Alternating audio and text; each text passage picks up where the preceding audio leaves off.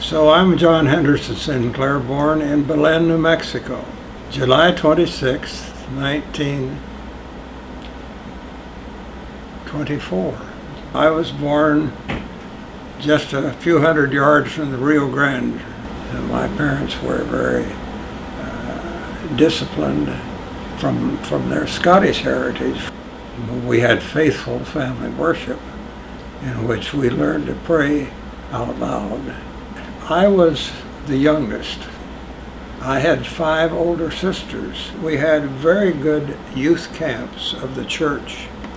I had some wonderful role models uh, in in the youth youth ministry, and they always had the time for commitment and vocation.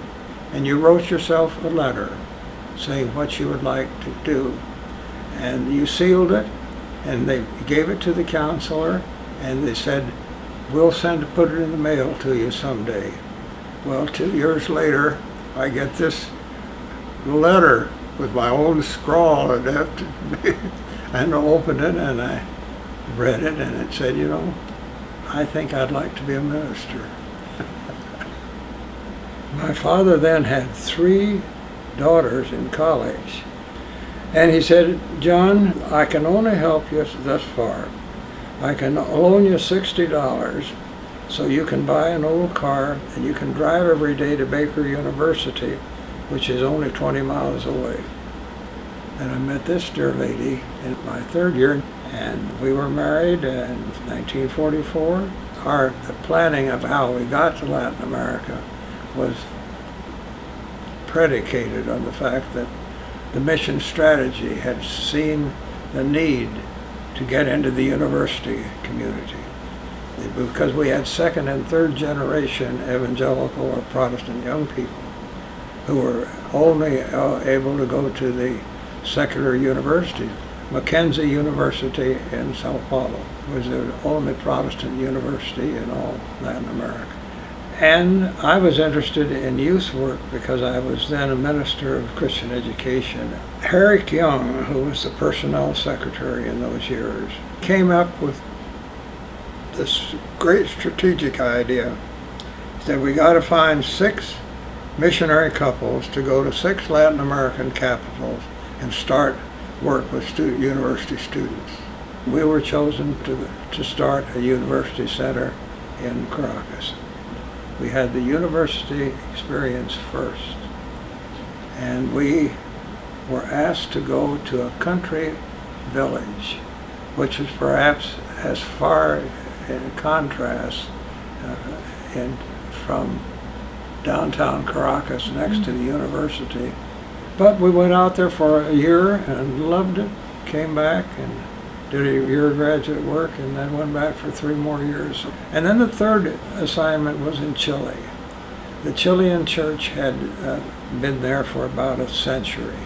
They were still a presbytery of the Synod of New York. Can you imagine that after a hundred years? And so my first challenge was to get that presbytery to become the Presbyterian Church in Chile and I had uh, some ups and downs, but uh, we finally made it. Uh, it was a time of, I won't say turning over mission to the younger churches, but recognizing that we were getting in the way. And that was a time when we had to withdraw personnel. And you say, oh no, it said go into all the world and preach the gospel. But it didn't say just you Yankees. And so there was a, a period in which we began bringing uh, Brazilian um, pastors into Chile.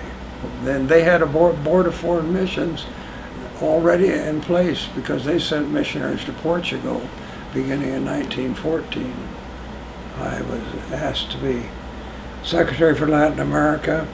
We were in 17 countries and had 210 missionaries and a budget of about, about 3 million. And uh, so I, I learned pretty fast. Uh, I had to learn fast. I was traveling about um, 50,000 miles a year, and my dear wife would, wouldn't see me for a month at a time. So I take off my hat to my dear wife, who, who corralled our three sons.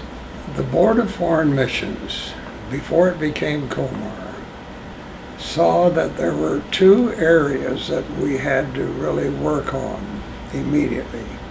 One was inter-American relationships from North America to South America. The second area was in the United States. Uh, there's a need for Anglo-Hispanic relations. So there was a commission called the Advisory Committee on Inter-American Affairs. There was another commission on Hispanic Anglo affairs. We merged those two, and as a result, we published through the General Assembly a paper called Myth and Reality in Inter-American Affairs. And out of that came transformative relationships between Anglo presbyteries and Hispanic churches in the United States, between North American churches, Presbyterian, and Latin American Presbyterian churches.